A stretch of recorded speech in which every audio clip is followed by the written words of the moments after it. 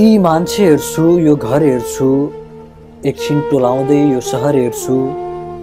त्यो रित्तो मरुभूमि र मेरो देश उस्तै उस्तै लाग्छ। त्यो रित्तो मरुभूमि र मेरो देश उस्तै उस्तै लाग्छ। जब स्वदेशी कमिलाको विदेशी लहर हेर्छु यी मान्छे हेर्छु यो घर हेर्छु। गरिबको भलाइ हुन्छ भन्ने कुनै समाचारमा देखिन। गरिबको भलाइ हुन्छ भन्ने कुनै समाचारमा देखिन हेर्न त म पत्रिका दिनहुँ दिनभर हेर्छु यी मान्छे हेर्छु यी घर हेर्छु।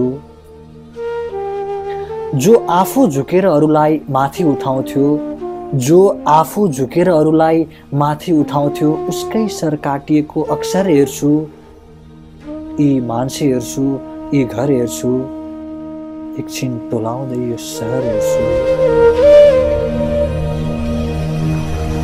すご。